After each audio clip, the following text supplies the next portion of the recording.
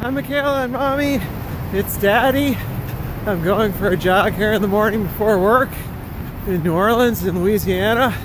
And the really funny part is this is some of the coldest weather I've experienced so far this fall, even though I'm way down south.